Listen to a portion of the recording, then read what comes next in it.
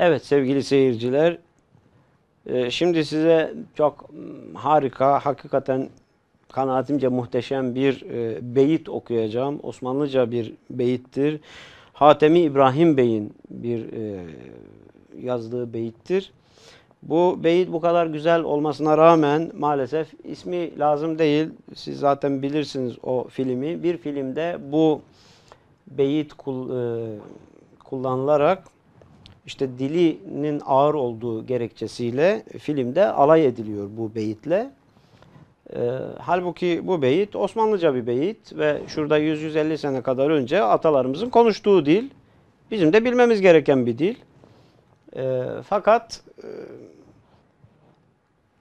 bu dili bilmeyen insanlar kınanacağına bu dili kullanan insanlar niçin bu dili kullandılar diye alay edilmek seçildi o filmde.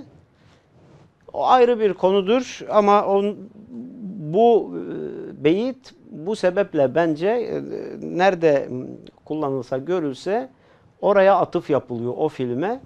E, bu beyte haksızlık olduğunu düşünüyorum. E, Şimdi sizinle paylaşınca sizler de hak vereceksiniz. Diyor ki Hatemi İbrahim Bey, erişir menzili maksuduna aheste giden. Tiz reftar olanın payine damen dolaşır. Şimdi evet yani bunu bilmeyen bilmeyebilir. Bilmemek ayıp da olmayabilir. Ama öğrenmemek kınanasıdır. Hele bilmiyor diye böyle muhteşem bir beyitle alay etmek daha ayıptır. Şimdi ne diyor e, Hatemi İbrahim Bey? Erişir menzili maksuduna aheste giden. Menzili maksud hedeflenen amaçtır. Erişmek zaten bildiğiniz bir şey. Diyor ki erişir menzili maksud amaçladığı hedefe ulaşır. Kim gider? Aheste giden, yavaş giden. Yani yavaş giden hedefine ulaşır. Tiz reftar olanın yani tiz çabuk giden. Tiz reftar olmak, çabuk yürüyen, çabuk giden. Payine damen dolaşır. Payi ayak demek. Damen de etek demek.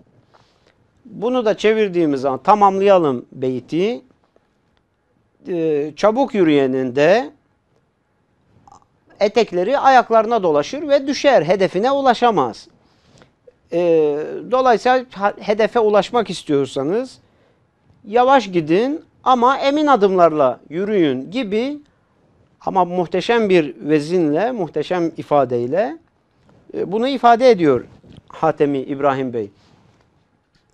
Gördüğünüz gibi bu beyit çok güzel bir beyit, çok güzel bir e, üslupla yazılmış, çok e, bir hayat dersi veriyor adeta iki satırlık e, beyit ve hiç de dalga geçilecek bir şey değil, alay edilecek bir şey değil. Aksine öğrenilesi, istifade edilesi bir beyittir. Bunu da bugün sizinle paylaşmış olayım. Sevgili seyircilerimiz, Zest TV'de yaptığımız e, bir programımızı daha bugün burada bitirmiş oluyoruz. Bir sonraki programımızda e, tekrar birlikte oluncaya kadar şimdilik hoşça kalın diyoruz efendim. Zest TV'yi seyredin, dostlarınıza tavsiye edin diyoruz. İnsanlığın bilgi ve kültür mirasına katkıda bulunmaya çalıştığımız bu programlarda sizin de istifade etmenizi ve çevrenizin de istifade ettirmenizi isteriz. Şimdilik hoşça kalın.